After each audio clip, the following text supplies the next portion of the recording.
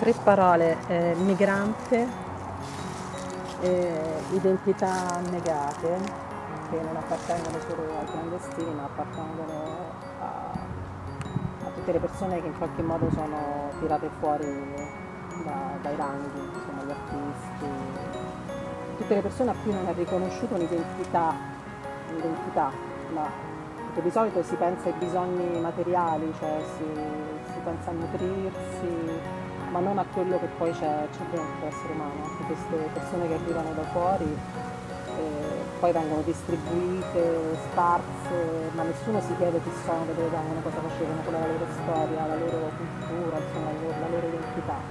E questi sono nate, non è stato un progetto, è stato più l'esigenza di dar, dar forma alla negazione umana, cioè quello che poi gli esseri umani si negano perché non sono belli.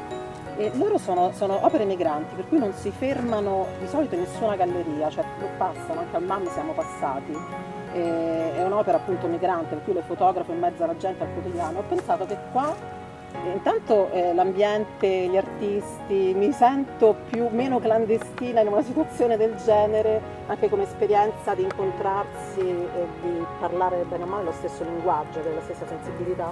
E qua perché volevo, come, come ho fatto con eh, tentare, all'inizio volevo ridargli dargli radici, cioè fargli mettere radici, trovare una terra per queste clandestine e mi piaceva qua invece le ho fatte rinascere da questi bozzoli che ho lasciato.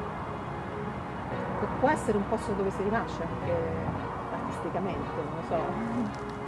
Mi piaceva questa cosa. Preparami per il futuro. Eh, almeno me le puoi fare queste domande perché sono stata appena operata, il futuro è ora e adesso quick. Stand.